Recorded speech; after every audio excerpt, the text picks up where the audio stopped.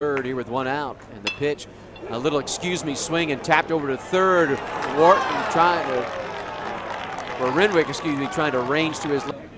And Barnes' first pitch is swung on and hit out to the second baseman. Ranging to his left, Weston Wilson will throw over to first, get the man in time there, but scoring from third will be Casals to tie us up at two. 2-2 pitch, swung on and missed. Again went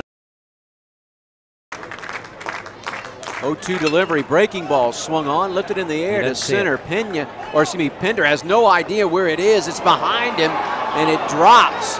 None of the guys realize where it was in this high sky, so scoring from second easily will be Jeremy Pena, and moving all the way over to third will go Chapel. 3-2 offering, swung on and missed strike three. Got Weston Wilson down on strikes, and Clemson goes one, two, three here in the bottom half of the eighth second. 2-2 here to Eli White. Swung on and missed. There's that slider.